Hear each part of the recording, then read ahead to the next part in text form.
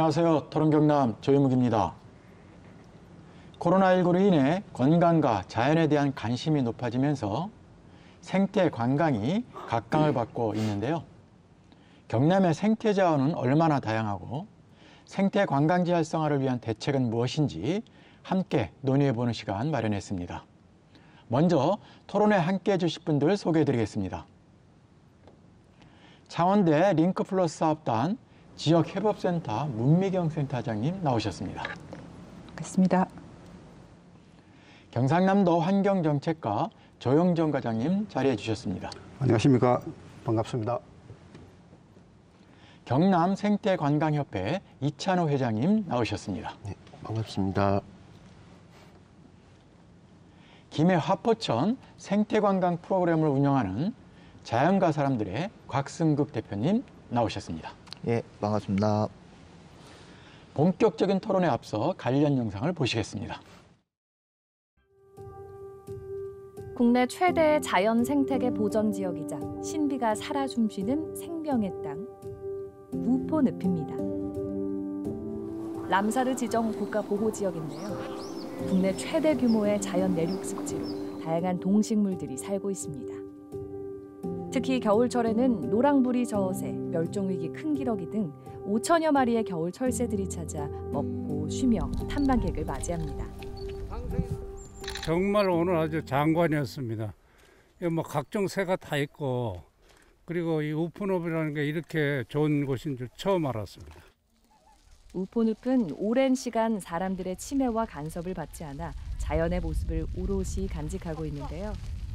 천천히 산책하듯 둘러보는 생태 여행지로 각광받고 있습니다. 생태 관광은 환경 피해를 최대한 억제하고 자연 친화적으로 즐기는 여행입니다. 해설사의 설명을 들으며 동시에 자연을 느끼는 새로운 경험을 하게 됩니다. 새를 이렇게 가까이서 본 적도 처음이어서 이제 여러 종류의 새를 볼 수 있는 볼 수 있다는 것도 굉장히 놀랐고 이쁘다는 생각이 들었습니다. 합천댐의 상류 지역 연못과 화초, 나무로 채워진 정원이 펼쳐집니다. 연못에는 시원한 분수가 물을 내뿜고 주위에는 노란 창포꽃이 줄지어 피었습니다. 경남의 1호 지방 정원인 거창 창포원입니다.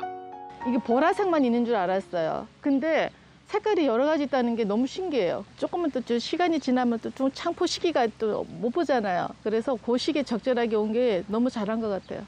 상수원 보호구역이라 수질 정화 능력이 뛰어난 창포를 심으면서 이름 붙여진 창포원. 축구장 60개 넓이에 2011년부터 230억 원을 들여 갖고 오면서 지금의 모습을 갖추게 됐습니다. 현재 지방정원은 창포원과 경기도 세미원, 전남 중록원으로 전국에 3곳. 지방정원이 되고 3년이 지나면 정부로부터 운영비를 지원받을 수 있는 국가정원이 될 자격도 얻게 됩니다.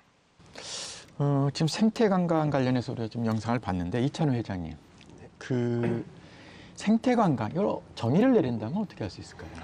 생태 관광의 정의는 어, 우리 이제 환경부에서 내린 정의를 우선 본다면 생태적으로 우수하거나 자연 경관이 우수한 지역을 어, 일단은 보존하는 게 우선입니다. 그리고 또 이제 어떻게 현명하게 이용할 것인가 그러한 어, 정체성 속에서 그 지역을 즐길 수 있는 환경 친화적인 관광이라고 볼 수 있는데 음, 멕시코 유카탄 반도에 가면은 우리가 알고 있는 홍학이라고 있지 않습니까? 그 홍학들의 번식지가 있는데 이 홍학 번식지를 어, 복원을, 하- 저, 보존을 하기 위해서는 무엇을 해야 될 것이냐. 거기 오는 사람들이 사진만 찍고 그것만 즐기고 갈 것이냐. 그건 아니죠. 그래서 거기에 그 지역을 보존하기 위해서는 어, 여러 가지 이제 재정적인 측면도 따를 것이고 한데 그러한 어, 홍학의 서식지를 사람들이 와서 즐기고 그 서식지를 보존할 수 있는 재정적으로든 아니면은 여러 가지 이제 어, 자기의 육체적 활동으로서 보존할 수 있는 활동을 하고 기여를 하- 하는 거기에서부터 출발을 했다고 일반적으로 보고 있거든요. 그래서 이제 어 이러한 것들로 봤을 때 저 생태 관광의 가장 중요한 것은 어 지역의 생태 자원을 보존하고 그리고 이제 그 지역의 현명한 이용을 위해서 관광객들도 참여를 하고 무엇보다도 이제 그 지역의 편의를 위해서 뭔가를 예를 들면 그런 것입니다. 청소도 지금 관광지에 가서 청소도 할 수가 있고 어, 관광 자원이나 또 이제 거기 문화 자원을 상당히 포함을 시키거든요. 그 문화 자원이나 관광 자원을 보존하기 위해서 기금을 조성하는 데 기여하는 이런 것들로 간단하게 요약을 할 수 있겠습니다. 예. 음, 이찬호 회장님 좀 잘 되고 있는 사례 어디를 좀 소개할 수 있을까요? 사실 이제 우리나라가 생태 관광이라는 개념이 들어서고 그것을 이제 어, 정책적으로 제도화하고 지금 이제 지원하고 있는데 어, 아직까지는 이제 제 생각에는 아직까지는 이제 걸음마 단계라고 생각을 하는데 음, 제주 서귀포 서귀포에 가면 효돈천과 하레리 지역이 있는데 이게 이제 환경부에서 지정한 생태 관광 지역으로 지정이 되어 있어요. 여기는 이제 조금 이제 관광지니까 여러분들 아마 들어보셨을 텐데 쇠속각이라는 그런 관광 자원이 있는데 여기에 이제 지역 공동체에서 운- 운영하는 트레킹 코스 그리고 이제 카누 체험 그리고 또 이제 지역 농, 농산물의 음, 공동 판매라든지 아니면 또 지역 이제 상가들이 조금 밀집해 있거든요.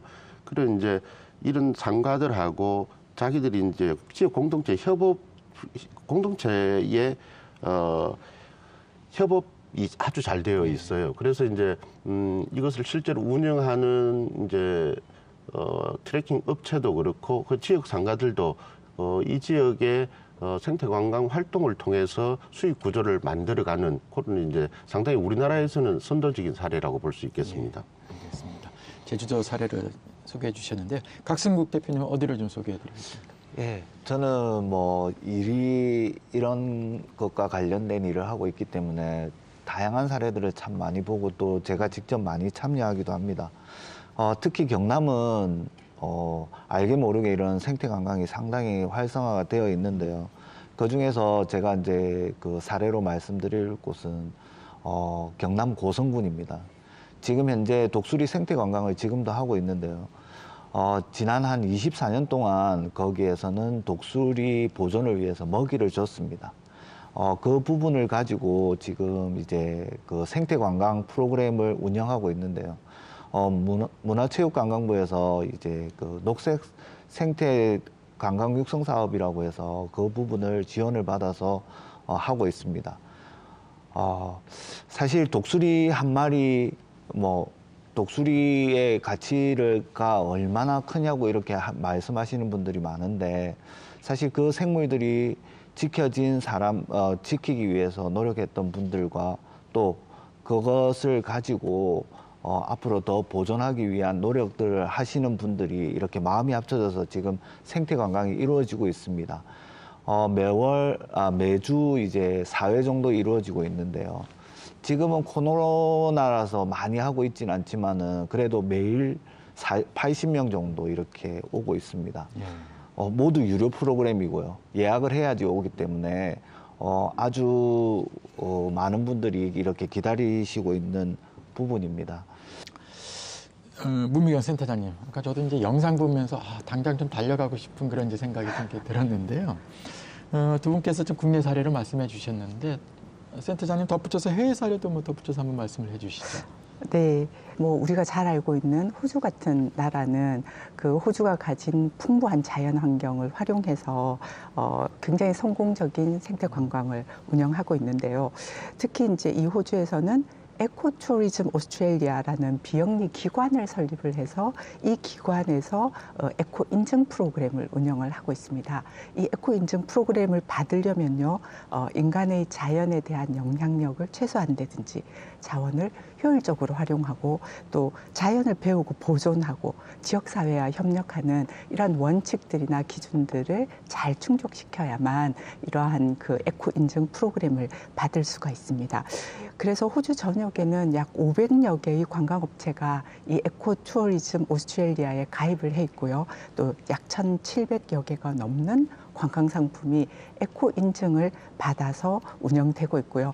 그래서 연매출 한 약 1조 3천억 원, 또 고용은 약 14,000명 정도의 고용을 이루어내고 있다니 굉장히 그 규모가 이렇게 어, 큰 규모가 에코 생태 관광을 통해서 이루어지고 있다라고 보시면 될 것 같습니다.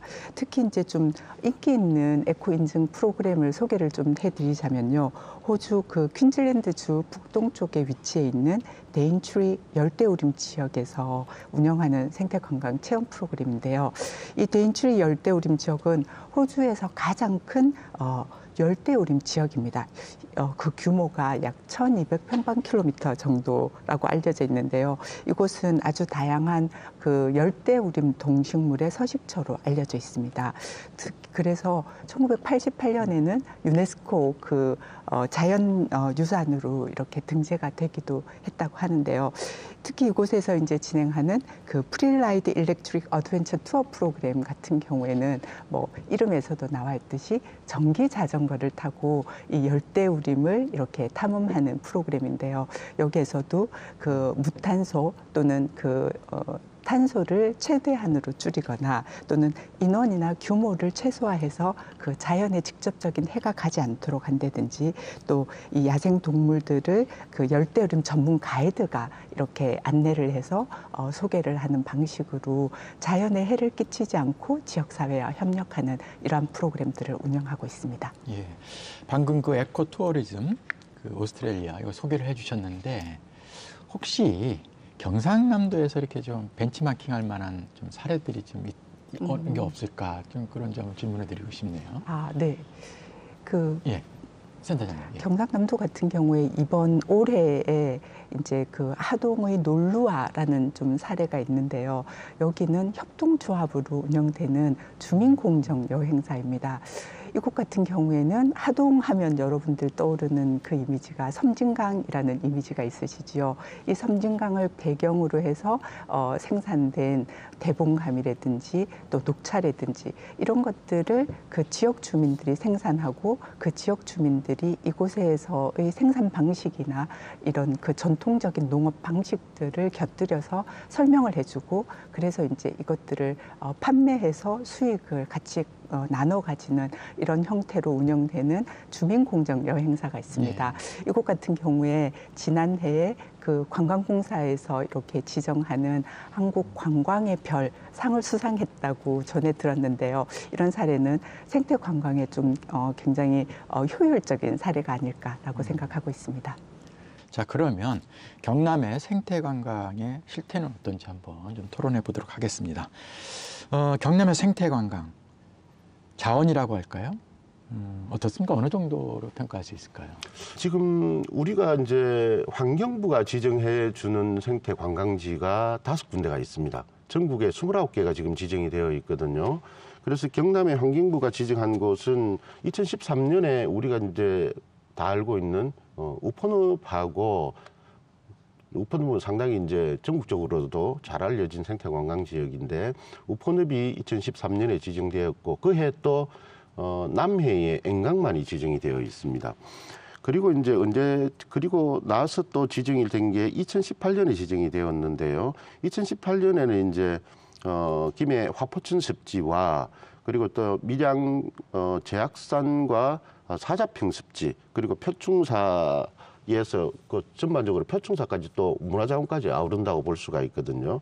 그렇게 2018년에 두 개가 지정이 되었고 그리고 어 지난해죠. 2021년에 주남 저수지가 어, 환경부 지정 생태관광지역으로 지정이 되었습니다. 그리고 이제 나중에 또 과장님도 말씀하시겠지만 도에서 지정하는 또 제도가 있거든요. 그곳은 이제 현재 이제 네 곳이 지정이 되어 있습니다.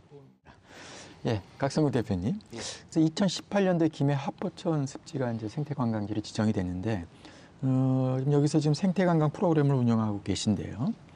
음, 뭐 많은 부분들에 대해서 좀 이야기하실 수 있을 것 같아요. 이 부분 관련해서 좀 지정 배경이라고 할까요? 어떤 좀 장점이 있었나요? 예, 지금 이제 하포천 습지는 이제 습지 보호 지역이자 그리고 생태 관광 지역입니다. 아, 사실 2000년대 초반만 하더라도 이 지역이 정말 완전 쓰레기장이었거든요. 어, 물도 시커멓고 그다음에 사실 새보다 냉장고가 더 많을 정도였습니다. 어, 그렇게 어, 오염이 심한 곳이었는데 어, 제가 2004년도에 이제 화포천 습지를 조사하는 기회가 있었습니다. 그게 그때 이제 귀이빨 대칭이라는 생물을 관찰하게 됐는데 어, 그 생물이 멸종위기 종 1급입니다. 아, 이- 이런 곳에 이런 생물이 살고 있다라는 게 놀라웠고 그 이후로 계속 관심을 가지면서 이야기를 나누고 또 뭐 신문의 컬럼이라든지 이런 부분들도 계속 어, 한 3년 정도 이렇게 써 나갔었습니다.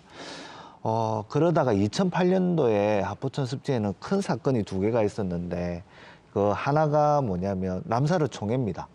그때 이제 김해의 대표적인 습지로서 하포천 습지를 전 세계에 알렸고요. 그 다음에 이제 두 번째가 뭐냐면 노무현 대통령님의 귀향입니다. 어, 노무현 대통령께서 내려오셔서 나는 이 하포천 습지를 한번 살려보고 싶다. 그게 어떻게 해야 될까? 그게 여러 전문가들을 불렀고 함께 의논해서 이제 먼저 청소부터 하자. 그래서 매주 한 2회 정도 이렇게 청소를 했었고요. 그게 거의 3년 정도 를 가니까 성과들이 보이기 시작했습니다. 어, 그렇게 해서 이제 멸종위기 야생동물들도 돌아오기 시작하고, 그때 같이 함께 했던 게 저도 엄청 감동스러운데요. 어, 김해 시, 이 행정과 그리고 지역민, 환경단체 전문가들이 정말 이렇게 똘똘 뭉쳐서 이렇게 하는 모습을 보고 정말 살아날 수 있겠구나 했는데, 아, 이 한 해 한 해가 다르게 너무 살아나는 모습이 아주 어, 감동스러웠습니다.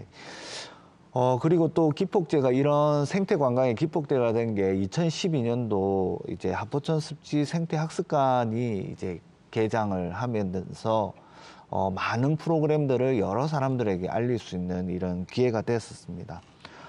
어, 어, 최선을 다하면 하늘이 돕는다고 했는지 몰라도 2014년도에는 어, 우리나라에서 멸종된 지 43년이 지난 어, 2014년도에 이 황새라는 새가 하포천을 찾아줬습니다. 그리고 떠나지 않고 몇 개월 동안 이 하포천에 이렇게 머물렀거든요. 어, 정말 보존을 해서 우리가 자연을 지킨 모습과 그리고 주변에 친환경 농업을 하면서 했던 결과들이 어우러져서 이 봉, 그 황새가 오지 않았나 싶고 그 황새 이름이 봉순입니다. 그 봉순이로 인해서 많은 지역 주민들이 어, 환경의 중요성에 대해서 알게 됐고 그로 인해서 2017년도에 습지 보호 지역이 됐고 2018년도에 이제 생태 관광 지역 그리고 국제 슬로시티까지 이렇게 가입을 할 수 있게 되는 성과를 이루었습니다. 어, 하포천 습지 생태 공원은 지금 현재 어, 생태 관광의 이 그 김해 생태 관광의 중심으로서 여러 역할들을 하고 있는데 이제 시작입니다. 앞으로 더 무궁무진한 일들이 남아 있을 것 같고요. 시청자 여러분들께서도 앞으로 하포천의 어, 변화를 어, 기대하셔도 좋을 것 같습니다. 어, 아까 이찬호 회장님께서 이제 환경부가 지정한 생태관광지 경남에 다섯 곳이 있다 그랬는데 경남에서 이제 별도로 또 지정한 생태관광지가 있다 이렇게 말씀하셨어요. 과장님, 경남에는 어, 몇 곳인가요? 경남도가 지정한? 예. 경남에 일단 네 곳이 있습니다. 네 곳이 있고 일단 그 도 대표 생태관광지 지정제 이 시행 배경을 잠깐 말씀드리면은 에, 생태관광에 대한 국민들의 욕구가 상당히 좀 정제되고 있고 생태 관광지 활성화가 좀 필요한 시점이었습니다. 그래서 우리 도에서는 지난 2017년도에 경상남도 생태 관광 활성화 및 지원 조례가 좀 제정되면서 생태 관광에 대한 사업 추진과 아, 예산 지원이 가능해졌습니다. 에, 세부적인 지정 절차와 기준은 좀 전에 이찬우 어, 회장님께서 말씀을 좀 하셨는데 환경부의 기준을 예. 좀 따르고 있고 지정 절차는 우리도 우리도에서 그 생태 관광 전문가로 구성된 그 생태 생태 관광 정책위원회가 있습니다. 생태 관광 정책위원회의 최종 심의를 거쳐서 어, 지정을 하고 지정 기한은 3년입니다. 그리고 우리 또 에, 대표 생태 관광지 지정 현황은 어, 아까 네 곳이라고 말씀드렸는데 하동의 탄수 없는 마을, 합천 정량읍, 또 함안 계양섭지, 거창 창포원 등 해서 네 개소가 되겠습니다. 에, 세부적으로 좀 말씀드리면은 하동 탄수 없는 마을은 대부분 지리산 국립공원 내에 위치한 11개 마을로 지정되어 있습니다. 하동군에서 어, 신재생 local 에너지 자립 마을로 조성해서 청정 공기 캔을 생산을 하고 인근의 설산습지 탐방이라든지 반달가슴곰 먹이주기 체험 에, 등 마을 별 체험 프로그램을 운영하고 또 인근의 칠불사라든지 화개장터 등 화개장터 등 다양한 문화자원과 연계가 가능한 지역입니다. 그리고 합천 정량읍은 환강의 지류인 아천의 배후 습지로서 어, 낙동강 본류의 태적으로 생성이 되어졌습니다. 그리고 자연경관이 좀 빼어나고 천연기념물과 그 멸종위기종 등 500여 종의 다양한 동식물의 서식지로서 생물학적, 생태학적 보존 가치가 매우 높은 습지로서 다양한 생태 체험 프로그램을 운영을 하고 있습니다. 또 그리고 함안 계항습지는 함안군 그 성산산성 내에서 700년 전의 그 고려의 아라홍련의 씨앗이 출태된 지역입니다. 여기서 성산산성 주변에 논습지를 좀 복원을 하고 생태 체험과 낙하놀이를 하는 무진정이라는 곳이 있습니다. 무진정의 생태와 역사 자원을 활용한 관광 인프라를 또 갖고 있는 지역이 되겠습니다. 거창 창포는 좀 전에 방송에도 나왔습니다만은 합천댐 상류 어, 원시 하천이 농경지로 개발되었던 곳을 다시 습지로 복원을 했습니다. 하고 또 수질 정화식물인 꽃창포를 대규모로 또 식재를 한 곳입니다. 수달이라든지 새매 그리고 큰 고니 등 천년기념물과 멸종 위종 한 250여 종의 다양한 동식물이 서식하고 있는 지역입니다. 예, 지금 경상남도에서 별도로 지정한 생태 관광지가 이제 네 곳, 그 네 곳을 소개해 주셨는데요. 어, 환경부가 지정을 하고 있는데 경상남도가 별도로 이렇게 또 관광지를 지정하는 특별한 이유가 있으신가요? 네, 우리 그 도 대표 생태 관광지 지정 사업은 어, 지역의 자연 환경을 또 보존을 하고 지역 주민의 참여를 바탕으로 해서 생태 해설사 양성이라든지 그리고 생태 관광 프로그램 개발 운영 등으로 소득을 창출하고 또 그 소득이 예, 지역민에게 되돌아가는 선순환 구조를 만들어서 지역민들이 자발적으로 자연보존 의식을 가지도록 하는 예, 사업입니다. 그 환경부에서는 뭐 전국 차원에서 하다 보니 지역의 우수한 자원을 놓치는 부분이 예, 간혹 있습니다. 그런 부분을 보완하는 측면도 있고 경남도가 먼저 지정을 해서 에, 체계를 갖추고 환경부 지정도 받을 수 있도록 육성한다는 뜻도 있습니다. 에, 생태 관광지의 지정 요건은 지역 주민과 관련 전문가 등으로 생태 관광 지역 협의체가 구성되어져야 됩니다. 에, 그리고 생태 관광 운영 가이드라인에 맞도록 운영되어야 하는 등 많은 조건이 이제 필요로 하고 있습니다. 또 대표 생태 관광지로 먼저 지정 운영하면서 지역 생태 자원 보존과 활용을 하고 주민 역량 강화라든지 예, 모니터링과 컨설팅을 지원해서 향후 환경부 생태 관광지의 지정 요건을 충족할 수 있을 정도의 지역으로 발전을 시킬 수가 있습니다. 실제로 지난해 그 환경부에서 예, 상계소가 신규 지정이 되었습니다. 예, 우리 창원 주남 저 수지가 2018년도에 경남도 생태 관광지로 지정을 받고 있다가 3년을 저희들이 준비한 끝에 21년에 환경부 지정을 받은 사례가 있습니다. 자연의 어떤 소중함이라고 할까요? 어, 이런 부분들은 이제 국민들에게 많이 좀 이렇게 일깨워주고 또 관심을 갖기 시작한 여러 계기가 있지만 그 중에 하나가 이제 람사르 총회가 아닌가 싶어요. 어떻습니까? 이 생태 관광 활성화에도 이 람사르 총회가 상당히 영향을 미쳤다고 보시나요?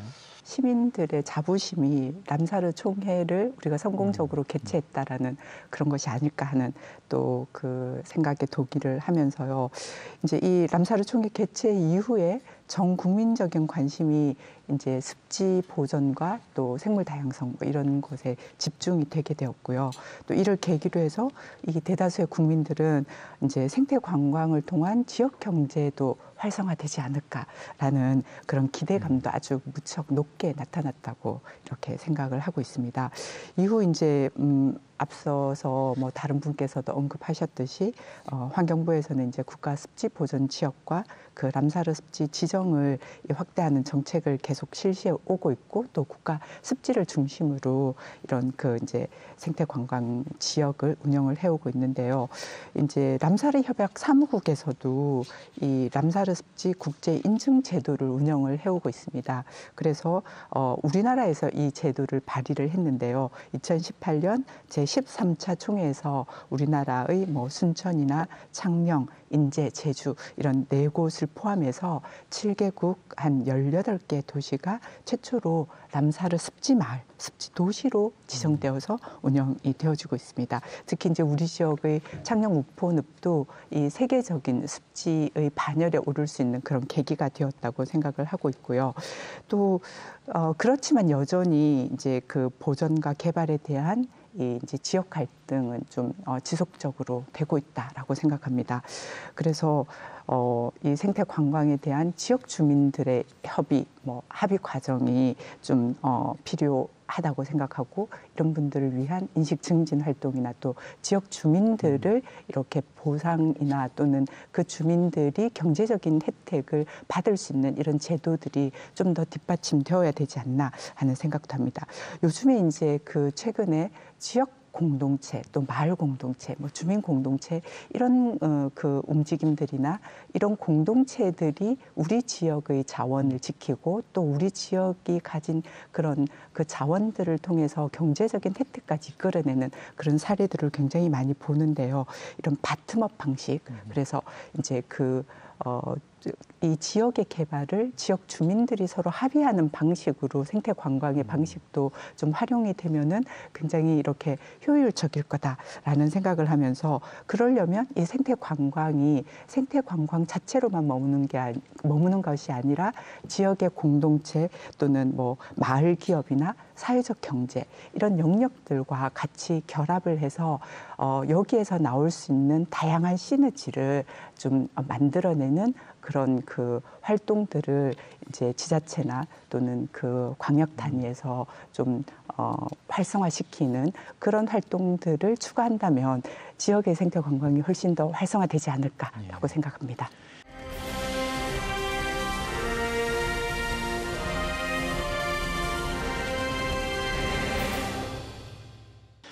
음, 어떻습니까, 각승국 대표님? 우리나라 생태관광, 뭐 경남 생태관광을 포함해서 아쉬운 점이 있다라면 좀 어떤 점을 들을 수 있을까요? 예. 생태 관광은 매우 부가가치가 높은 관광입니다. 하지만 이상하게도 이제 우리나라에서는 이제 대부분 생태가 붙으면 뭐 무료 프로그램이나 그리고 값싼 관광으로 이렇게 전략되어 버린 경우가 많이 있습니다. 어, 그러다 보니까 이제 고급 관광으로 이렇게 발전되지 못하고 사라지기 일쑤입니다. 생태 관광에 있어서 해설가나 지도사의 이런 역할은 매우 중요한데 이런 인력의 양성과 고급화에 힘을 또 더 쏟아야 됩니다.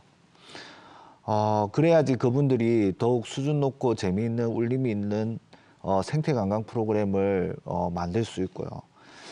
어, 사실 시설을 만드는 데는 수십억, 수백억을 이렇게 써서 어, 많이 만들고 있습니다.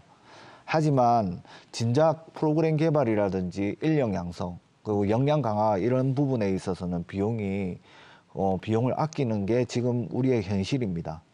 이렇게 된다면 결코 어, 제대로 된 생태 관광이 이루어질 수 없는 거죠. 참고로 뭐 독일이나 영국, 일본 과 같은 이런 생태 관광의 이런 선진국이라든지 어, 심지어 코스타리카나 케냐 같은 이런 나라들조차도 어, 생태 관광을 하면 하루에 한 얼마 정도 지불해야 될 것 같습니까? 1인당 보통 한 10만 원 이상씩의 프로그램비는 내야지 기본적으로 이런 생태 관광을 할 수 있습니다. 어, 그렇게 해야지 거기에 대한 가치가 올라가고 또 적은 사람으로서 관광을 하지만 이 환경에 대한 영향들이 더 적어지기 때문에 어, 충분히 같이 보존과 관광이 이렇게 병립돼서 갈 수 있다고 생각합니다.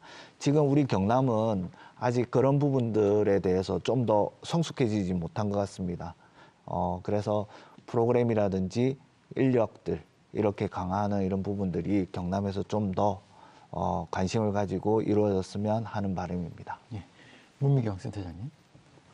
네. 그, 어, 지난 2018년 쯤에 그 우리나라에서 아주 흔히 볼 수 있는 그 원앙 한상이 뉴욕의 센트럴파크에 이렇게 출연을 한 적이 있습니다. 이 새는 사실은 동아시아가 이렇게 주요 서식처인데 뜻밖의 이 뉴욕에 이렇게 출연을 하다 보니 뉴욕 시민들이 아주 이렇게 관심 있게 지켜본 어, 그런 사건들이 보도가 된 적이 있는데요.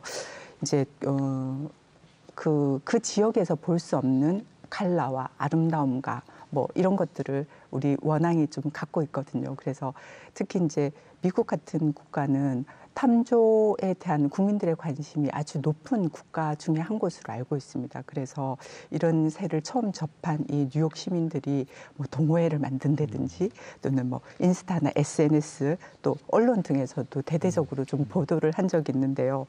뭐 제가 이런 이야기를 꺼낸 이유는 사실 이제 우리 곁에 이렇게 너무 흔해서 또는 어 굉장히 아름답고 다른 사람들이 보기에는 정말 소중한 자산이라고 생각하는데 우리 곁에는 너무 흔하게 이렇게 있어서 우리가 그 소중함을 모르는 이런 생물 자원이나 자산들이 너무 많다는 것입니다.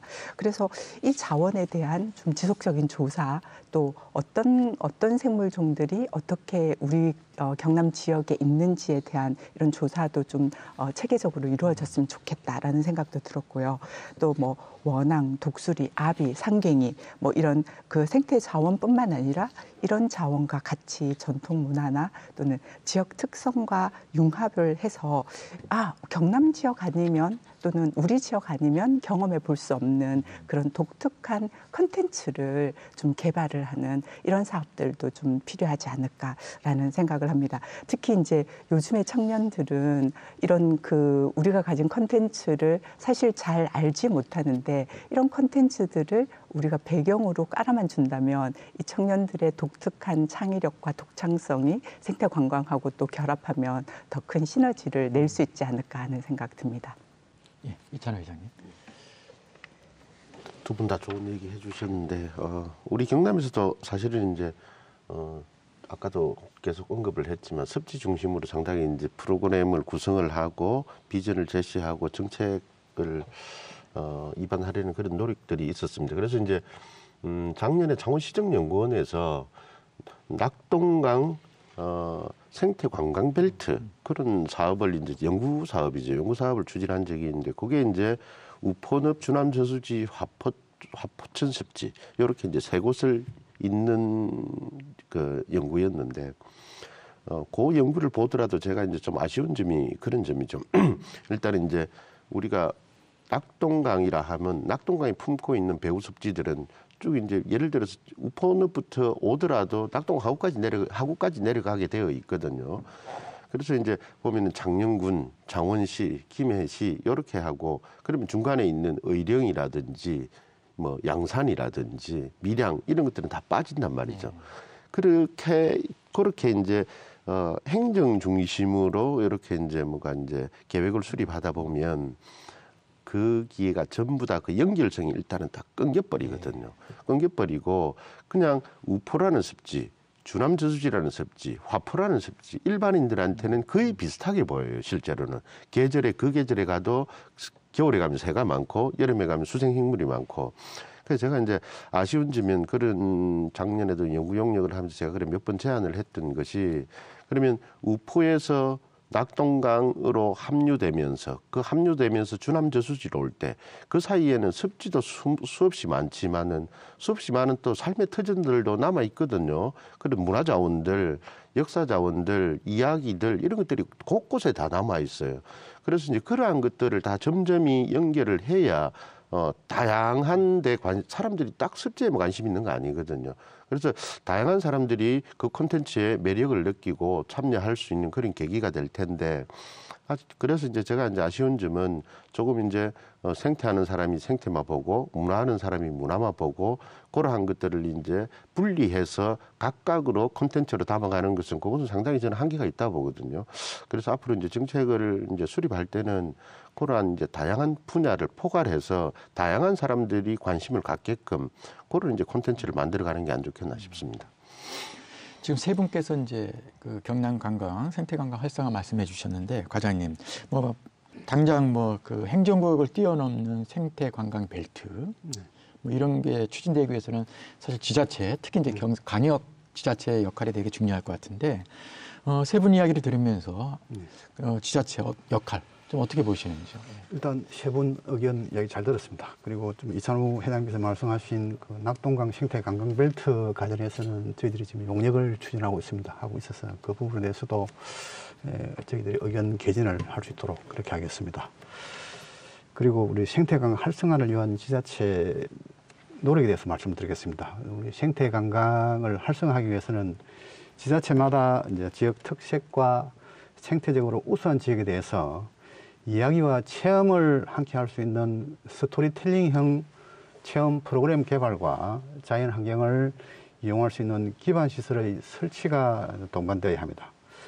우리 또 대표 생태 관광지에서는 생태 관광 체험 프로그램 운영과 더불어서 지역 주민과 함께 마을별 지역 문화 자원 발굴과 자연 환경을 조사해서 접목을 하고 생태 관광 주민 인식 교육 사업 등을 함께 추진을 지금 하고 있습니다. 그리고 우수한 자연 환경을 보호하고 관리하기 위해서 우리 시군에서는 자연 환경 보전 이용 시설인 생태 학습관과 아, 관찰로 습지 복원 등을 중점적으로 추진을 하고 있습니다. 예, 지금까지 33개소의 자연 환경 보전 이용 시설을 설치를 했고 올해도 한 205억 원을 투입해서 13개의 생태 관광 기반 시설 사업을 추진할 계획입니다. 그리고 어, 체계적인 생태 관광 추진을 위해서 2020년에 생태 관광 활성화 및 발전 방향에 대한 로드맵인 예, 경상남도 생태 관광 활성화 5개년 기본 계획을 수립을 한 바 있습니다. 우리 경남 고유의 자연과 문화가 담긴 품격 있는 생태 관광 실현을 위해서 예, 한 3대 전략 58개의 단위 사업이 포함이 되어 있습니다. 예, 우리 도민이 행복하고 관광객도 만족하는 어, 생태 관광 관리 체계를 구축해서 사회 경제와 아, 문화, 아, 환경적 지속 가능성을 확보하는 것이 핵심 방향으로 어, 생태 관광 활성화에 많은 노력을 하고 있습니다. 음, 각승우 대표님, 음, 방금 이제 과장님께서 2020년 생태관광 5개년 계획 수립을 이제 완료로 하셨다고 말씀해 주셨는데요.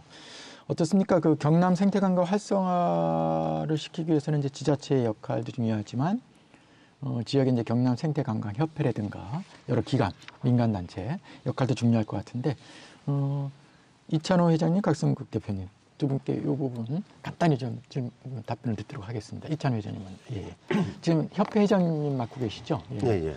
어, 우리 협회는 어, 작년 4월에 어, 설립이 되었습니다. 그 설립된 배경으로 보면 지역에 이제 생태관광 지역들이 있고 그 생태관광 지역에 어, 또 그 지역의 생태관광 협의회 혹은 협회들이 있습니다. 그래서 이제 그쪽이 이제 각각 독립적으로 활동을 하는 경우가 많은데 그들한 그들의 독립적인 사업들을 조금 이제 네트워킹 사업으로 여- 연결을 해주고 그리고 또 이제 지역에서 지역 단위 프로그램뿐만 아니라 지역에서 전국 단위 혹은 이제 국제적인 프로그램으로 그런 이제 중간 가교 역할을 위해서 이제 제가 우리 이제 협- 협회가 설립이 되었거든요.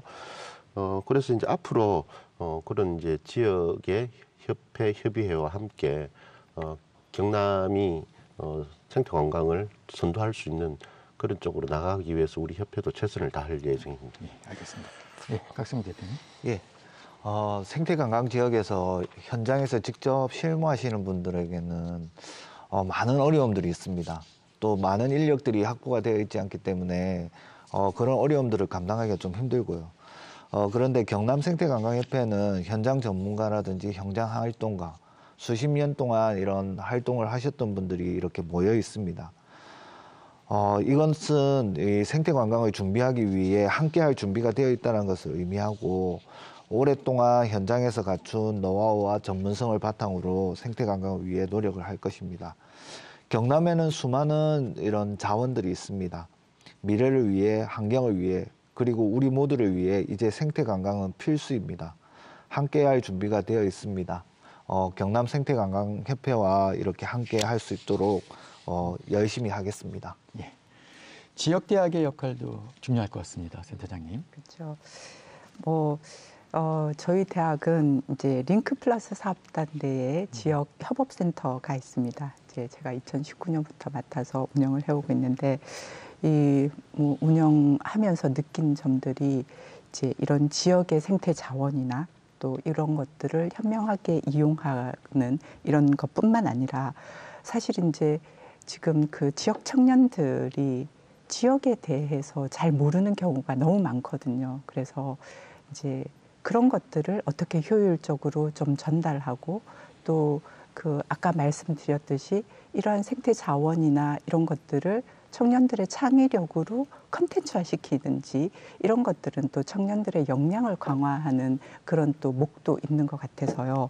저희는 2019년에 이제 창녕 우포늪 뭐 자연예술제라든지 이런 것들을 이제 청년들도 작품 활동을 통해서 저희가 참여를 하기도 하고요. 또 거기에서 자연과 생태를 소재로 해서 자기가 작품을 만들어 보기도 하고 또 뭐 홍보 활동을 해주기도 하고 이러면서 같이 참여를 하게 됐고요. 또 경상남도 사역신 추진단에서 추진하고 있는 마을과 대학이 콜라보하는 협력 사업들을 추진을 하고 있는데요. 이런 어, 곳에서도 이제 지난해부터 그 저는 지역의 자산이 다락눈이라고 생각하는데요. 그 다락눈을 보존하기 위해서 굉장히 사역신 추진단에서도 활동을 하고 있습니다. 그래서 지역 대학에서도 그런 어, 이 다락눈이 가진 전통적인 농법이나 또 다락눈에 살고 있는 생물들의 가치나 이런 것들을 저희가 같이 홍보를 하고 할, 이, 또 알려내는 활동들 또 어, 뭐 산청, 밀양, 뭐 하만, 남해 이런 곳들이 지금 이 다락눈 협동조합이나 다락눈 공동체로 운영이 되고 있는데요. 이 지역에서 어떤 학생들은 어, 이 지역에서 생산하는 전통 쌀을 가지고 뭐 막걸리 키트를 만든다든지 이런 좀 재미있는 활동들을 고민하고 있습니다. 또 뭐 지난해 같은 경우에는 이제 그 협동조합으로 유명한 스페인의 몬드라곤 대학이라고 있는데요. 이곳의 학생들 한 스무 명을 초청해서 우리 지역을 좀 보여주 는 그런 어, 행사도 좀 추진을 한 적이 있습니다. 그래서 우리 지역이 가지고 있는 뭐 마을 협동조합 이라든지 또는 그 이제 지역의 자산인 주남 저수지 이런 곳을 방문해서 그 지역 주민들과 같이 또 학생들이 어 협력을 해서 그 주남 저수지를 보존하기 위한 활동들을 추진을 하기도 하고요. 또그 뭐 수정 마을 같은 곳에 가서 또 마을 축제에 같이 기획을 하거나 참여하는 이런 활동들을 하게 됐습니다. 또 뭐 도시 재생과도 저희 학교에서 이제 다양한 활동을 하고 있는데 이런 그 지역의 캐릭터를 저희가 발굴을 해서 아, 그 개발을 해서 마을 분들이 쓸 수 있도록 저희가 구북이라는 캐릭터를 개발해서 뭐 제공을 한다든지 이런 식의 다양한 활동들 또 지역의 특산품이나 단감이나 이런 것들을 활용을 해서 그 마을이 카페에서 활용할 수 있는 음료수나 이런 것들로 개발을 해서 저희가 제공을 하는 등 이 어, 지역과 대학 또는 지역에 있는 문제들을 대학의 청년들이 이렇게 조금 앞서서 그런 고민들을 같이 해결하는 그런 플랫폼 역할을 하고 있다고 생각하고 있습니다. 예, 알겠습니다. 예, 경남의 생태 관광의 활성화를 위해서는 어, 지자체는 물론이고 협회, 대학, 민간단체 협력이 좀 필요할 것 같은데요. 오늘 좀 토론 마무리해야 될 것 같습니다. 어, 마무리 발언 듣도록 하겠습니다. 조영준 과장님. 예. 아, 아, 예. 예, 감사합니다. 에, 우리 경남도는 매년 이 단계적으로 도 대표 생태 관광지를 발굴해 육성하고 또 환경부 지정 생태 관광 지역과 소통의 장을 마련하고 또 생태 관광 활성화 정책을 지속적으로 추진해 나갈 계획입니다. 도내 생태 관광의 기반을 확대하고 자연을 훼손하지 않고 지속 가능하게 이용하는 예, 모범적 사례로 지역 주민 중심의 생태 관광지로 자리매김할 수 있도록 적극 지원해 나갈 것입니다. 특히 올해는 주요 습지를 연계한 낙동강 생태 벨트와 또 불경 생태 관광지역의 교류 협력을 또 강화를 하고 정책 공유를 통한 지속 가능한 발전 방안을 모색해서 우리 경남도가 예, 우리나라를 대표하는 생태 관광지로 거듭날 수 있도록 노력하겠습니다. 예. 감사합니다. 예. 박승국 대표님. 예. 어, 우리 마음의 고향은 자연입니다. 하지만 이제껏 인간은 자연을 이용만 하고 파괴해 왔습니다.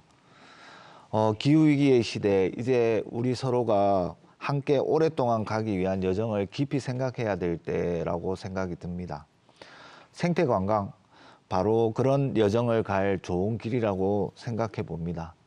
모두 어, 오늘 이야기 들어주셔서 감사드립니다. 예, 감사합니다. 문미경 센터장님. 네. 그 요즘 뭐 로컬 지역 열풍이 이렇게 굉장히 이렇게 또 어, 한 트렌드이기도 한데요. 이런 그 트렌드에 맞춰서 또 생태 관광이 청년들의 그 관심과 수요를 좀 끌어낼 수 있으면 좋겠다라는 생각들을 해봅니다. 그 이제 어, 우리 지역에서도 계속 지속적으로 청년 인구가 유출되고 또뭐 어, 지역 정주를 이야기할 때 어, 뭐 직주락 이런 조건들이 필요하다고 이야기하는데요. 사실 그 생태 관광의 한 꼭지가 이제 그런 청년들의 요구를 또 좀 실현시킬 수 있는 그런 방안이 될 수 있다고도 생각을 하거든요. 그래서 이제 경남 지역이 사실 이 람사르 총회를 통해서 이 습지 보전의 메카 그래서 지역민들이 굉장한 자부심과 긍지를 이렇게 느꼈던 그런 그 지역이라고 또 생각합니다. 그래서 이제 이런 생태 관광이 이 경남 경상남도의 노력 또 뭐 생태 관광 협회나 다양한 프로그램들의 운영을 통해서 이런 이제 지역 대학에서도 이러한 다양한 소스들을 연결하고 네트워킹하고 또 그런 플랫폼 역할을 할수 있도록 또 최선을 다하겠습니다. 이찬호 회장님. 예, 우리 저희 경남 생태관광협회는 이제 뭐 발걸음을 내디뎠습니다. 어, 지역의 생태관광 활성화를 위해서 여러분들과 함께 할 테니 어, 많이 지켜봐 주시고 협조 부탁드리겠습니다. 예, 오늘 토론 함께 해주신 네 분 수고하셨습니다. 오늘 토론 경남에선 경남의 풍부한 생태 자원을 보존하면서 아울러 지역 경제를 활성화시키는 경남 생태 관광의 실태를 짚어봤는데요. 생태 관광이 환경에 대한 관심을 높이고 지역 경제를 살릴 수 있는 대안으로 자리 잡을 수 있기를 기대해 봅니다. 이 방송은 토론 경남 채널에서 다시 보실 수 있습니다. 시청해 주신 여러분 고맙습니다.